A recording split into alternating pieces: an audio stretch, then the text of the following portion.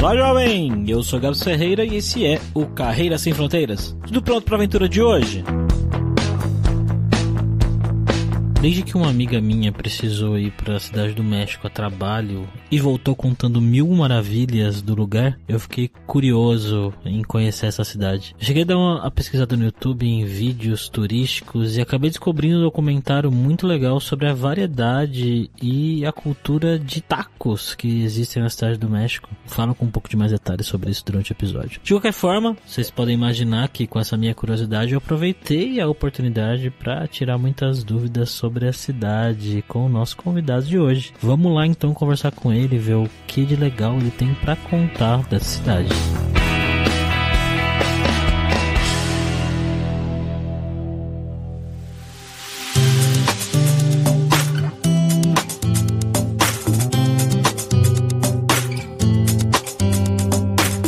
Conversar com o Bruno, estamos aqui, como sempre, com ele, o nosso viajante poliglota Fabrício Carraro. Como você está hoje, Fabrício? Muito bem, Gabs, muito animado de voltar para o México, que é um lugar que eu adoro, vocês já sabem que eu gosto muito do México. E a gente vai falar aqui com o Bruno, que é um grande amigo meu. Como é que você está, Bruno? Fala, Fabrício, fala, Gabs, tudo certo com vocês? Tranquilo, tranquilo. Vamos lá para esse papo direto.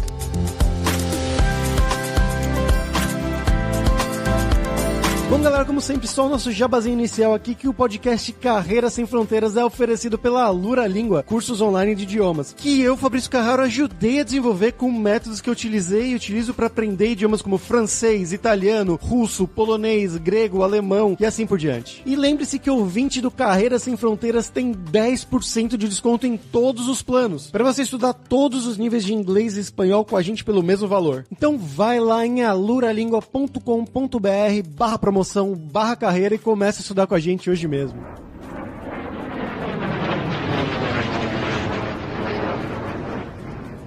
Bom, Bruno, então como sempre aqui para quem não te conhece, conta um pouquinho sobre você, né? Então de onde que você é no Brasil, o que que você fez da vida, o que que você estudou e como é que você foi parar aí no México, cara? Bom, eu sou de, Santo André, no ABC Paulista aí. Eu falo que eu sou de São Paulo, que é mais fácil para as pessoas saberem. Eu estudei sistemas de informação, sempre trabalhei aí com tecnologia, aprendi a programar com 13 anos Visual Basic e desde então eu tenho trabalhado com isso daí. Trabalhei no, muito tempo no PagSeguro, trabalhei praticamente oito anos anos lá, então todo o meu background aí foi de fintech, empresas de tecnologia, de pagamento. Depois que eu saí do PagSeguro, eu passei um tempo numa empresa chamada Estelo, que era, um, era uma fintech também de terminais de cartão de crédito, também de máquina de cartão. E nesse meio tempo que eu fiquei na Estelo, eu fiquei alguns meses lá, o antigo CTO do PagSeguro ele já tinha recebido essa proposta para vir trabalhar no México, numa startup também de meios de pagamento, né? Então, seguindo aí todo esse background de fintechs e tal. E ele me convidou para fazer parte do time do México aqui, de me mudar para cá, para trabalhar aqui na, na, empresa mesmo, né?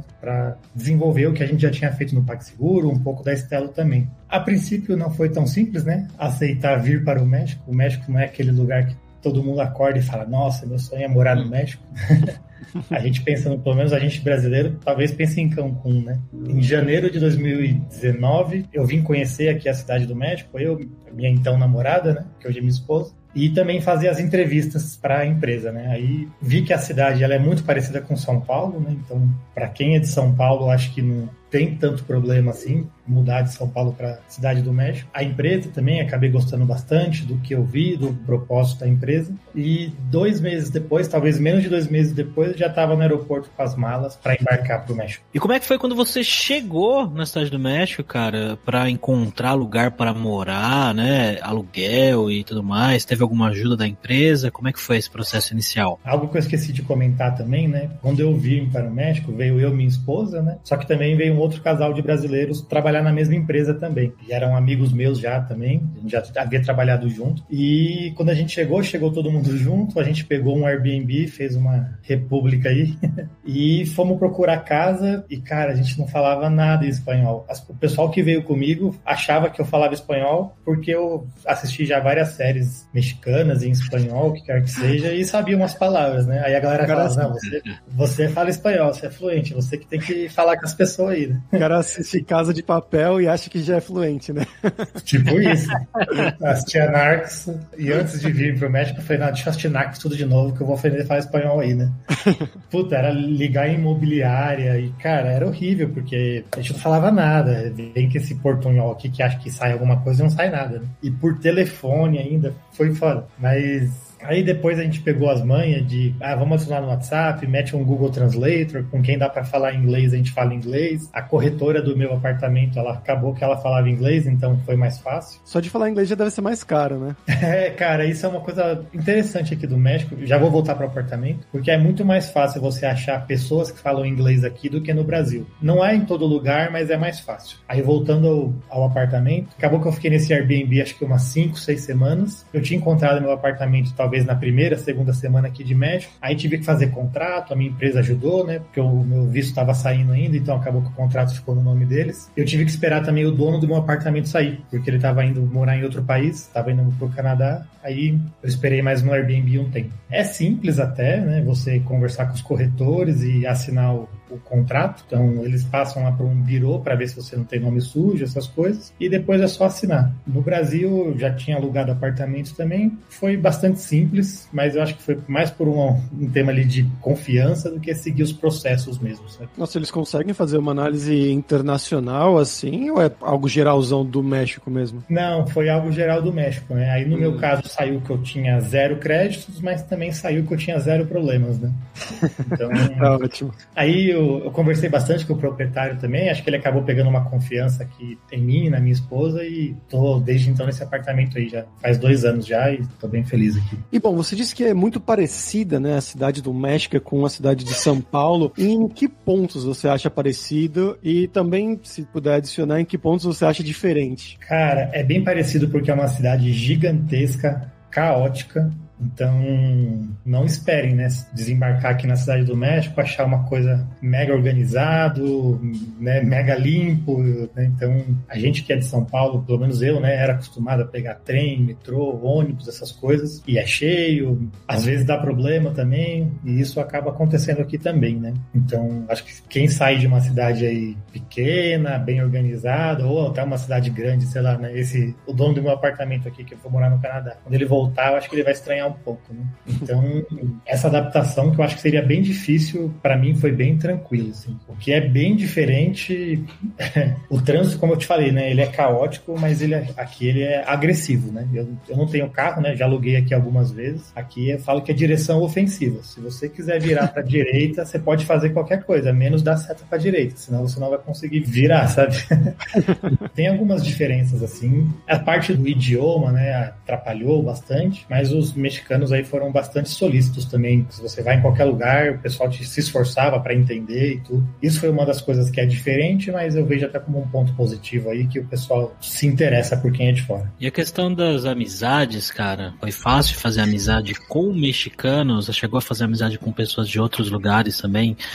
Não sei se no seu ambiente de trabalho aí você trabalha com pessoas de lugares diferentes. Não foi tão fácil fazer amizade com mexicanos no começo, porque o meu principal contato com pessoas locais eram no trabalho. E no trabalho acabou que eu precisei chegar fazendo algumas mudanças e tal, né? Então demorou um tempo aí até eu ser bem recebido, digamos assim. Ah, você era aí... tipo o, o, novo gerente pau no cu que o pessoal falava, ah, odeio aquele cara brasileiro, maldito. É basicamente isso.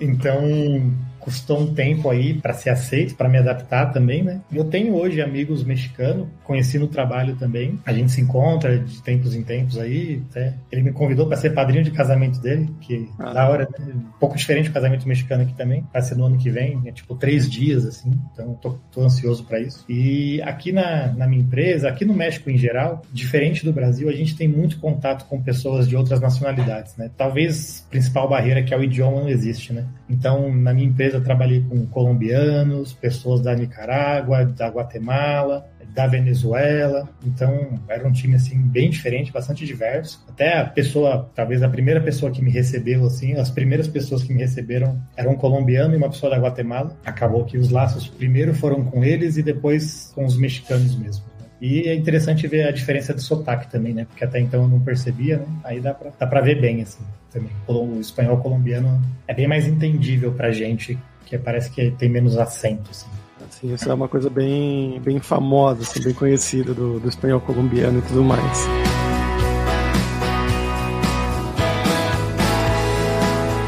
Mas, bom, você falou que você foi com a sua namorada, né, com a sua esposa na época.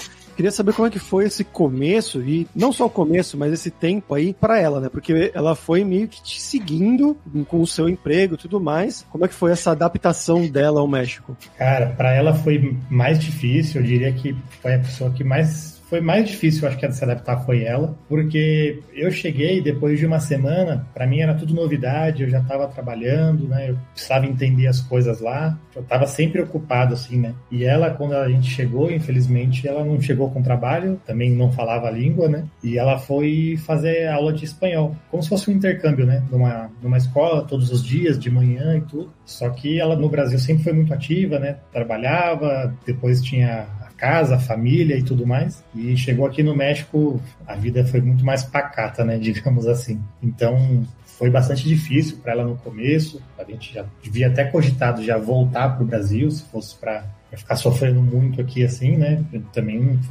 não precisamos disso, né? Mas aí acabou que ela foi forte aí, superou, conseguiu um trabalho também, já tem mais de um ano. Então, isso foi bem legal, assim, foi ótimo. Né? E uma das coisas que a gente reparou, né, também falando do idioma, que como ninguém falava espanhol, ela tinha mais conteúdo que a gente, né, mais gramática até, pelo tempo que ela fez aula, pelo lugar que ela fez aula, só que a gente tinha mais fluência, né, a gente conseguia se comunicar melhor. Aí agora que ela está trabalhando já tem bastante tempo, eu acho que de todos nós aí ela é que melhor fala. Então, e ela trabalha com o que, cara? O que, que ela faz aí? É, ela é coordenadora de vendas ela conseguiu uma vaga na startup que eu trabalhava também. Então, essa startup que eu trabalhava chama Clip. Ela faz máquinas para aceitar pagamento com cartão de crédito, coordena, né, atua junto com um time de vendas aí para vender mais máquinas para revendedores, né? Então, ela não vende para o cliente final, ela vende para pessoas que revendem depois para o cliente final. É um modelo de comissionista que chama aqui, de comissão, como se fosse venda direta. Eu achei curioso que você falou, né, dos mexicanos, de como eles foram, bom, simpáticos. Né? A gente geralmente tem essa imagem que o povo mexicano é muito, muito parecido com o brasileiro e tudo mais. Você achou isso mesmo, assim, no geral? Depois, claro, não contando do trabalho, mas que eles são bem parecidos com os brasileiros ou você acha diferente? Ah, eu acho que eles são bem parecidos, sim.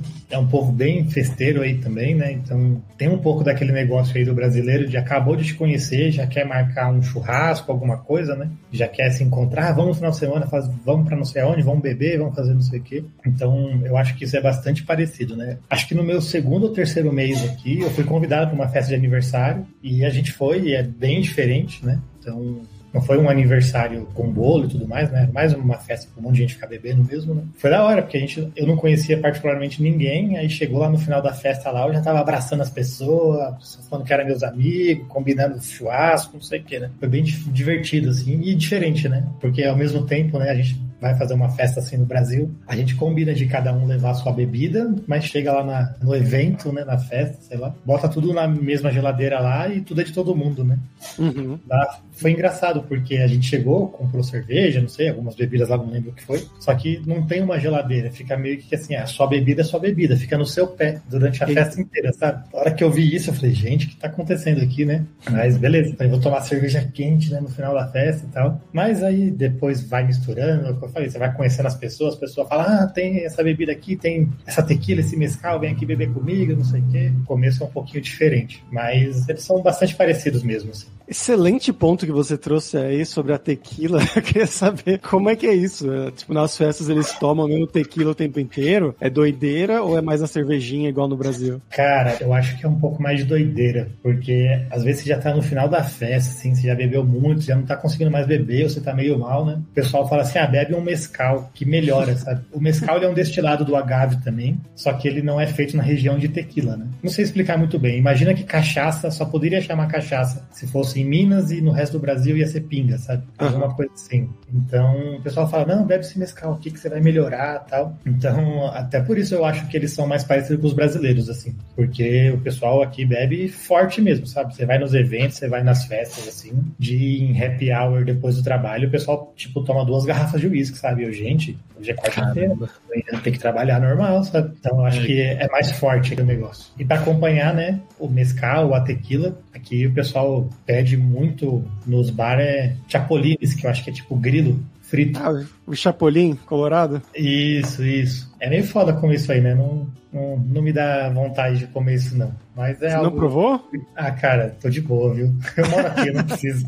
Deixa é pros turistas. É um grilo mesmo? É frito. E assim, é super comum você encontrar isso, seja num bar, assim, para você comer, ou você vai andar no centro da cidade, ou num lugar turístico, tem o cara lá com o saco de bala e o de chapolin, sabe? Então, Caramba. é algo meio comum aqui, assim. Bom, já que você falou do Chapolines, vamos aproveitar e emendar com a comida, cara. Como é que é? Comida, alimentação no dia a dia aí, você se adaptou bem? Cara, eu não sei se vocês já vieram pro México, aqui pra cidade do México em especial, né? Eu tomei um susto com a comida aqui, porque pra mim a comida mexicana é o que a gente come aí no Brasil, né? Onde o taco é crocante, é duro, né? É frito, tem burritos, né? Cara, aqui não tem nada disso. Ah, o Tex-Mex, né? É, aí eu descobri que a comida que a gente come aí no Brasil é Tex-Mex, né? Aqui é só Mex, não é Tex. Então, assim, sim, é taco, né, que a gente come aqui, que se come, mas ele é diferente, ele é uma... A tortilha, ela não é crocante, ela não é frita, ela é uma massa feita de milho, parecida com uma panqueca, né? A textura, assim, a consistência. E se come muito aqui, talvez acho que a comida mais famosa se chama taca ao pastor. Não sei se vocês sabem o que é, mas é tipo aquele churrasco grego que tem no Brasil aí, que é uma carne num cone rodando lá no fogo, disposto na rua de preferência. E isso aqui, ao invés do pão, é a tortilha, né? Então, não existe burrito, né? Que é uma coisa que eu gostava muito aí no Brasil. Então, foi uma surpresa aí a comida, mas hoje em dia, assim, eu como, mas não é minha comida favorita. Eu acho que é um pouco seco também. Uma curiosidade, assim, pelo menos para mim, né? A gente no Brasil tá acostumado de manhã comer uma coisa mais leve, aí no almoço come uma coisa, uma comida mesmo, aí na janta, aí tem dos dois casos, né? Mas aqui meio que comida é comida, sabe? De manhã você come taco, de noite você come taco, na hora do almoço é taco, né? Então é como se fosse o arroz com feijão, mas também é o pão, sabe? Eu como, mas não é algo que eu como todo dia, não. Agora que eu tô trabalhando de home office por causa da pandemia, né? Acho que esse ano acabou que eu comi uma vez só, ou duas. É, Pior que eu, eu tenho uma amiga mexicana e ela tava contando exatamente sobre isso, especialmente sobre o café da manhã, que, como você falou, eles comem taco com não sei o que, tipo, vários pedacinhos, taquinhos assim, com coisas no café da manhã também, né? Um café da manhã bem salgado. É, o café da manhã aqui ele é bem pesado, né? Uma amiga mexicana, ela me convidou para ir uma vez, só que aí chegou a pandemia, não rolou. Que era um café da manhã mega famoso aqui da cidade do México, de domingo, que era tipo uma sopa de bode, né? Aí eu Nossa. falei, tá porra, né? Mas assim, tem uma coisa também em relação à alimentação aqui. Os horários de café da manhã, de almoço, é, é tudo deslocado, assim, é bem mais tarde que no Brasil. Então, assim, o café da manhã acaba sendo umas 10 e meia, 11 horas, né? Aí eu falei, ah, 10 e meia, 11 horas dá pra comer uma sopa de bode, sabe? Eu já vou ter acordado bem cedo, não tem problema. O almoço aqui, o pessoal costuma sair pra almoçar duas e meia, três horas. Você chega num restaurante assim, meio-dia e 40 para pedir o cardápio, eles te dão o cardápio do café da manhã. Isso foi uma coisa que também não foi difícil adaptar, mas foi um, um susto, talvez, né? Do pessoal saindo para almoçar três horas, três e meia. E no Brasil eu costumava comer meio-dia, meio-dia e meia, uma hora no máximo, né? Agora, quando eu como uma hora, eu acho até cedo, assim. Um pouco diferente isso. Fico lembrando dos tempos de PagSeguro, que o pessoal dava meio-dia, o pessoal já, já levantava pra sair pra ir pro restaurante, né? É, na Faria Lima, se você sai para almoçar meio-dia e 15, já acabou o lugar, né? É. Aí aqui, o equivalente a isso, talvez é 2h40, 10 para as 3, assim, tá tudo bem cheio mesmo. Eu acabo indo uma, uma e pouco, para pegar mais cedo, para pegar mais vazio e porque também já tô com fome também. Aí isso, não mudei tanto ainda meu, meu horário. Mas aí como é que funcionaria com os horários de trabalho, né? Eu digo pré-pandemia, quando você ia pra empresa e tudo mais. Cara, eu, o horário aqui na minha empresa, ele era flexível, mas era super comum, assim, o pessoal fazer um, um horário até que comercial, assim, das 9 às 5, das 9 às 6. Então, dava 6 horas, 6 e pouco no trabalho, já não tinha mais ninguém, né? E 9 e meia da manhã já tava bem cheio. O pessoal, o que que eles fazem, né? Aqui é muito comum também o deslocamento ser longo, assim. Uma pessoa que demora duas horas para chegar no trabalho é normal, sabe? Ninguém fala, nossa, duas horas, né? Fala, ah, beleza, duas horas, né? Aí o pessoal come alguma coisa, então, nesse caso, sei lá, seis da manhã, seis e pouco. Aí chega no trabalho, trabalha um pouco, aí tira a marmitinha ou vai em, algum café comprar alguma coisa. Então já faz uma refeição ali, que eles chamam de almoço, inclusive, né? Então, um termo espanhol mexicano. É que se você fala de almoço, é uma refeição entre o café da manhã e a comida, que seria o nosso almoço. E depois, mais tarde, às três e pouco, duas e meia, três horas, o pessoal sai para almoçar. Isso para mim é estranho, porque eu já saí para almoçar nesse horário algumas vezes. E você volta, trabalha tipo uma hora e pouco e já vai embora, sabe? Uhum. Não tem pra quebrar o dia no meio, igual pelo menos a gente brasileiro aí. A gente usa o almoço para quebrar o dia no meio, né? Pelo menos eu usava, né? Isso era um pouco estranho. Eles quebram duas vezes, então. Eles quebram em três partes, teoricamente. É que essa primeira refeição aí que se faz no escritório é como se fosse um café. Sabe? Ah, vamos ali pegar um café, sabe? Aí o pessoal acaba comendo algo rapidinho ou come na mesa mesmo, né? Não é aquela parada que você vai socializar, parar 40 minutos para conversar e escolher o que vai comer, onde vai comer. Então é um pouquinho diferente. Американская фирма Transceptor Technology приступила к производству компьютеров «Персональный спутник». Bom, e agora vamos para o nosso momento viajante poliglota com o Fabrício Carraro. O que, que você tem pra gente aí hoje, Fabrício? Bom, Gabs, a gente vai voltar aqui pro México, né? Da outra vez a gente já falou sobre alguns filmes muito legais mexicanos e hoje eu vou continuar falando sobre filmes, porque a cinematografia mexicana é realmente muito famosa no mundo, muito boa, com diretores fantásticos, super famosos, como o Alfonso Cuarón, que é o diretor desse filme Tu Mamá Também, né? A Sua Mãe Também, um filme muito, muito famoso aí do comecinho dos anos 2000, acho que é de 2000, 2001 mais ou menos, que tem duas super estrelas mexicanas hoje em dia, né, desses últimos 20 anos aí, que é o Gael Garcia Bernal e o Diego Luna também, que já tiveram várias séries, vários filmes famosos de Hollywood, inclusive por aí. E a história é uma história bem típica, assim, mexicana, que poderia ser um filme brasileiro também. Tem uma vibe um pouco até parecida com a vibe de alguns filmes brasileiros, que é, tem esses dois amigos que não só curtiam pegar mulher, sair, fumar maconha e tudo mais, e aí eles conhecem uma mulher mais velha, e aí eles vão meio que desenvolvendo uma amizade junto com uma inimizade com o marido dela, que é o primo de um deles. Enfim, é uma história de vida, basicamente, mas vai mostrando todas essas aventuras e desventuras desses três aí. É um drama, tá? Mas tem muita coisa de humor também, de coisas engraçadas. É um filmaço, um filme muito, muito legal que eu recomendo bastante aí pra galera que quiser ver. E Tu Mamá também. Mas perguntar agora pro Bruno, né? As dicas dele da cidade do México, o que, que você gosta de fazer aí, o que, que tem de bacana de fazer aí na cidade do México? Cara, só vou falar de um filme que por coincidência é do Gael Garcia Bernal, mas ele é diretor, chama Ticuarotes. Esse filme é sobre dois adolescentes que moram aqui na periferia da cidade do México. Ele é um filme meio B, assim, meio alternativo, mas é um filme bem legal. E se conseguir assistir em espanhol também, vai dar para notar bastante as gírias, a maneira com que se fala aqui na cidade do México, né? Que falam que é tilango, né? Assim como é o, o paulista mano, né? Aí é, é os tilangos aqui na cidade do México. E sobre o que fazer, tem um lugar que eu gosto muito aqui, que ele não é tão conhecido, que ele chama Xochimilco, que é como se fosse uma Veneza mexicana. Então tem um canal aqui que passa pela cidade, um pedaço pequenininho, né? Não é como Veneza, que é uma cidade inteira. E você vai lá, aluga os barquinhos, vai passear lá no barco. E tem vários barcos, né? Tem o barco restaurante, tem o barco da cerveja, tem o barco dos mariachi. Aí você compra a cerveja, paga pro mariachi tocar uma música lá para vocês. Esse acho que é um dos lugares mais legais, assim, que eu gosto mais da cidade do México. Acabou que a gente já foi lá algumas vezes, né? E infelizmente pela pandemia a gente acabou não indo. Então toda vez que veio aqui um, um turista, alguém visitar, sempre levava para lá. Xochimilco, muito bom, vale muito a pena. E aqui pertinho também tem as pirâmides de Teotihuacan, então super legal também. É, é muito famoso quem vem aí do Brasil, né? Chichen Itza, que é uma única pirâmide. Aqui pertinho, então são duas pirâmides, a pirâmide do Sol e da Lua. É um campo bastante aberto, então dá para você ter uma bastante noção assim de como era a vida dos indígenas na época. Assim. São dois passeios que eu gosto bastante e recomendo. Qual a distância daí da cidade do México? Para Xochimilco, 30 minutos. Na cidade do México mesmo, né? E as pirâmides, Teotihuacan, é uma hora, uma hora e dez de carro também. Hum. Tá perto, tá bem perto. Eu tenho uma recomendação também. O Bruno falou de taco, e eu lembrei que tem um documentário na Netflix que em português acho que chama Na Rota do Taco, que é um documentário sobre o taco mexicano, sobre os, as várias variedades de, de taco do México. E assim, não assista se você tiver com fome, tá? Porque é foda. Mas é muito, muito legal mesmo. É, e esse daí eu te diria que é bem real, assim. Eu assisti também.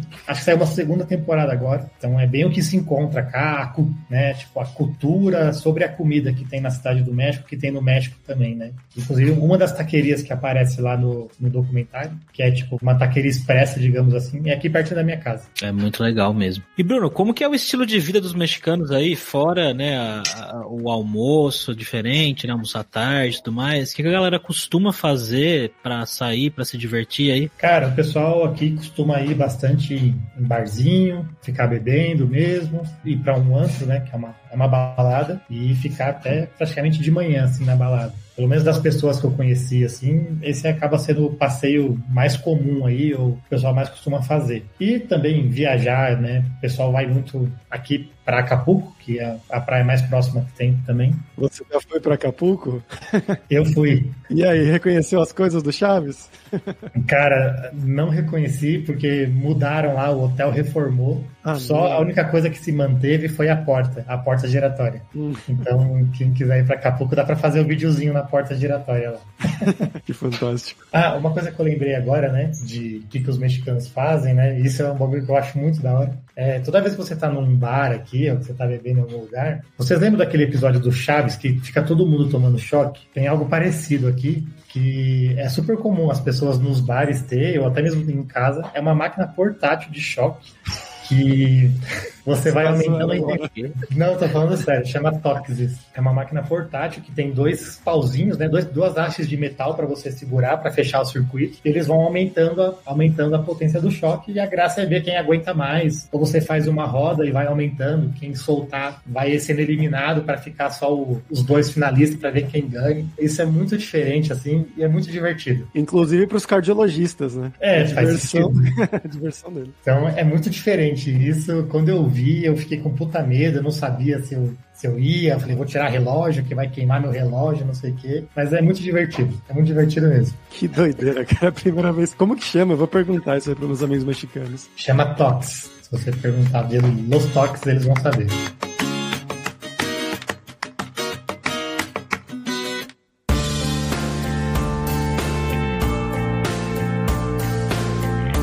E, bom, voltando agora para a parte do trabalho, né? Você já passou por mais de uma empresa aí no México. E eu queria saber como é que foi tanto a parte da, das entrevistas, né? Principalmente para a segunda empresa, que é o Nubank, que é onde você está atualmente, né? E também quais são as tecnologias que você usa mais no dia a dia, né? Você achou bem parecido o mercado e as tecnologias usadas com as tecnologias usadas no Brasil ou são diferentes? Bom, as entrevistas, tanto na Clip quanto no Nubank, não teve nada de mega diferente, né? Inclusive o Nubank acaba sendo uma empresa global, né? Então as mesmas entrevistas que eu fiz para o México eu faria para o Brasil ou alguém faria para Berlim aí, né? Que é basicamente um, um phone screen para ver se você tem um cultural fit também com a empresa. Aí eu fiz uma entrevista técnica de arquitetura. Também fiz uma entrevista depois com o meu manager e uma última focado em management também, né? Isso tudo é, em inglês ou em espanhol? No Nubank eu acabei fazendo tudo em inglês e uma em português de Portugal, porque meu chefe é de Portugal, porque havia pessoas que não falavam espanhol, né, nas minhas entrevistas do Nubank. E na Clip foi tudo em inglês também, porque quando eu vim fazer entrevista aqui, como eu falei, eu não falava nada de espanhol, né? Então, se não fosse pelo inglês aqui, eu não, não estaria aqui no México, eu acho. Não, não, ia rolar. E sobre as tecnologias, cara, é bem parecido com o que se tem no Brasil, assim. Na Clip, por exemplo, utilizava a Amazon, que é a mesma nuvem para qualquer lugar do mundo, Java, MySQL. Então, é uma stack bem tranquila, assim. Eu diria que isso aí que eu falei já é 80% da empresa. E o Nubank, ele tem uma stack mais particular, né, com Clojure, Datomic, só que não é algo, não é pré-requisito que você saiba, né, porque aqui no Nubank a gente sabe que não é todo mundo que, que usa isso, na verdade são poucas pessoas, então é importante você ser um programador, você ser um bom desenvolvedor, e a linguagem você acaba aprendendo aqui dentro, tem cursos, vai, vai pareando com as pessoas também. Então é mais importante os conceitos do que a linguagem em si. Como que é o mercado para devs no geral aí na cidade do México, cara? Cara, o mercado ele tá bem aquecido, tá rolando uma cena de startup bastante importante aqui. E assim como passa em muitos lugares do mundo, tem um déficit de profissionais também. Então, é super comum assim você receber abordagens no LinkedIn pelo menos uma vez por semana, se você não quer conversar com alguém sobre uma vaga, sobre alguma coisa. E assim como o Nubank também veio pro México, né? Tem muitas startups brasileiras aí que já estão bem grandes aí que estão vindo para o México. Né? Um outro exemplo aí é Acreditas, o Mercado Livre, apesar de não ser brasileiro, né? tem uma atuação bastante forte aqui também. Tem empresas bastante grandes, desde bancos, grandes startups e startups aí começando também com 15, 20 funcionários, que está tem bastante empresas que teve rodadas de, de inversão aqui, então isso foi, isso foi bem legal, assim, aqueceu bastante. E o mercado mexicano, ele concorre com o mercado americano, além de, além de tudo, né? Então, se você é, é mexicano, né, com passaporte mexicano, tem tipo um visto, tipo do Mercosul, assim, sabe? Que você não precisa ir para aquela loteria, aquelas coisas, para você trabalhar com tecnologia nos Estados Unidos. Então, a concorrência aqui, ela tá bem forte. Então, tá aquecida.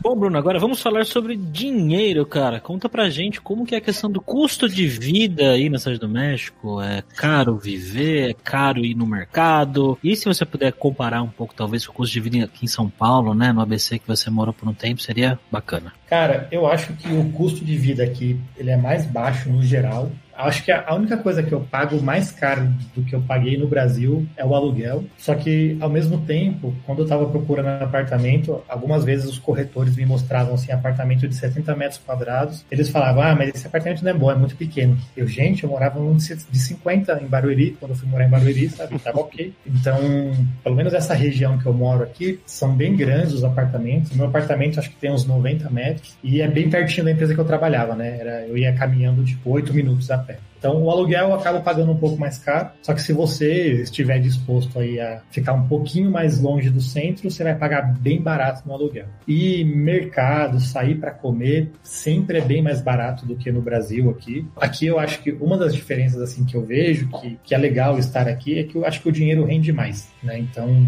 Aqui eu consigo ir no mercado, a gente viaja. Viajar também é mais barato aqui, seja para dentro do México ou para fora do México. É, eu nem tinha visto americano quando eu morava no Brasil. Aí aqui eu já fui para os Estados Unidos algumas vezes, que você acha a passagem, tipo, convertendo, vai, por 700 reais. E é um voo de três horas, né? Um voo de três horas aí no Brasil, você vai para algum lugar do Nordeste e é difícil encontrar por 700 reais também. Então, isso eu acho bom aqui, isso eu acho muito bom. Então, dá para sair, comer fora, pedir comida, né? Quando dava para sair. Agora a gente pede comida, vai no mercado, compra coisas que assim a gente não tem muita vontade, né? Não passa muita vontade. E ainda sobra um bom dinheiro aqui para guardar. Acho que a única coisa, uma coisa do mercado que é um pouco mais caro, talvez, é a carne. Aqui a carne de boi ela acaba sendo um pouco mais cara que no Brasil. Apesar que eu fui para o Brasil no ano passado, estava bem caro também. Mas comparando com a época que eu morava, acho que a carne está mais cara. Okay,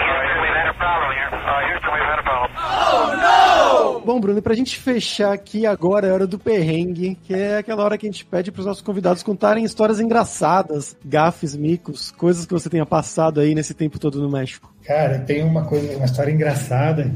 Eu tava dando um exemplo lá na empresa no ano passado, né? Nem lembro muito bem o que, que eu tava querendo dizer, né? E eu gosto de fazer analogias, né? Só que dessa vez eu errei feio, né? Aí eu tava tentando falar assim, ó, imagina que é importante pedir no meio de pagamento o nome da mãe da pessoa, né? Eu fui peguei e falei assim, ó, imagina ter que vamos a sacar o nome de tu mama. Só que mãe é mama, mama é, é seios, né? Aí, todo mundo chorando de rir na sala, aquele climão, né? Falei, ah, gente, dá os contos, vai. Aí passou, né? Isso foi, foi uma no trabalho assim que foi foda. Uma outra coisa que aí é mais perrengue mesmo, aqui tem terremoto, né? E eu já peguei uns 4, 5 terremotos aqui. Caraca. E, puta, é horrível. Não fica mais fácil. Primeira vez que eu peguei foi numa praia chamada Porto Escondido, que, puta, é uma praia sensacional, muito bonita. Só que, cara, na primeira noite, acho que a gente tava lá, rolou um terremoto, a gente tava no epicentro, assim, né? Não aconteceu nada, foi ok. Mas foi a primeira vez, sabe? Aí bate aquele desespero, eu só queria voltar pro Brasil, assim, eu falei, ah, vou pegar minha mala, que é minha roupa de praia e vou embora. O que tá lá na cidade do México ficar lá e que se foda. Nunca rolou um terremoto aqui de cair prédio, essas coisas, enquanto eu estou aqui, né? Em 2017 teve um bem foda, que é bem complicado isso pros mexicanos, mas é ruim, né, cara, porque várias, algumas vezes toca sirene na rua, é aquele momento de desespero, né? Aí sai todo mundo na rua, de pijama, é aquela situação ruim, né? Esse é perrengue mesmo. Qual que foi a sensação? Eu nunca vivi um terremoto, tá? então eu não sei dizer, mas qual que é a sensação? Tipo, você fica com medo realmente na hora ou você só acha que, que estranho o que está acontecendo? Cara, a primeira vez que eu senti, eu não entendi o que estava acontecendo. Porque, tipo assim, eu tava lá na pousada e comecei a ouvir, tipo, coisas baterem, né? Aí demorou, sei lá, acho que uns 5, 10 segundos pra gente entender que era um terremoto, eu e minha esposa. Só que aí depois, putz, eu fiquei com muito medo, assim, meio paralisado, né? E já não tinha muita coisa para acontecer, né? Porque já tinha sido terremoto e algumas vezes tem, tipo, a réplica, né? Mas a réplica sempre é mais fraca. Então, é o medo mesmo, porque ainda mais pra gente brasileiro aqui, não é algo que a gente se acostuma. Tem vários mexicanos aqui que já estão acostumados, os caras, né? O meu professor de espanhol mesmo, ele falou que teve um outro que a gente teve, que a gente pegou aqui à noite, ele falou, cara, eu nem levantei da cama, tava com mau sono, continuei dormindo, né? Pra gente, a gente fudeu, sai correndo, chama os vizinhos, né? E ele achou, viu que era, que era leve, né? Tem essa dificuldade aí. E não é algo que eu achava que vinha acontecendo, né? Que começava devagar e ia ficando forte, né? Não, é tipo, é zero terremoto, terremoto forte e zero de novo, sabe? É uma coisa tipo binário, sabe? Faz parte daqui de morar na cidade do México, né? Na empresa a gente é obrigado a fazer treinamento de terremotos e tal. E ainda bem que o lugar que eu moro aqui na cidade do México sente-se menos, né? Porque a cidade do México em algum momento ela foi um lago. Aí as pessoas que moram onde era o lago sente mais, né? Onde eu moro sente menos. Isso foi algo que eu ponderei também. E eu moro no primeiro andar. Né? Isso é algo que a gente sempre falou que minha esposa e eu, a gente nunca vai sair do primeiro andar também. Porque só sair correndo é mais fácil. Bom, valeu, Bruno. Muito obrigado pelo seu tempo, pela sua participação. Você quer divulgar alguma coisa? Cara, eu não tenho muitas redes sociais, assim, não sou muito ativo. Vou deixar meus contatos aí de LinkedIn, se alguém quiser alguma dica, quiser conversar, estiver procurando algo aqui também, pode me mandar mensagem que eu vou responder com todo prazer.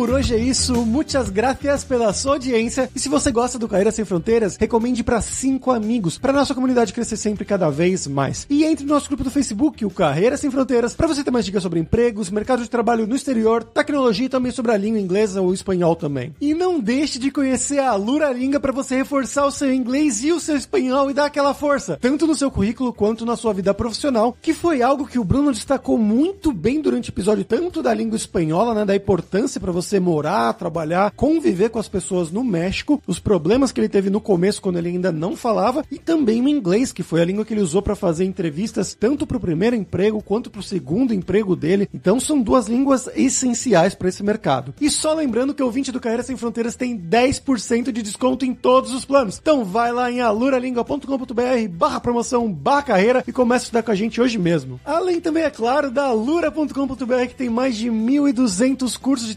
tecnologia, tanto nas áreas de programação, incluindo aí as tecnologias que o Bruno citou, que as empresas dele usam, né? Java, Clojure, tudo isso a gente tem na Alura, mas também cursos de marketing, design, business, soft skills, cursos de como você criar o seu currículo em inglês ou em espanhol também para mandar pro exterior. Então, com certeza vai ter o curso para você. Então, pessoal, até a próxima quarta-feira com uma nova aventura em um novo país. Tchau, tchau.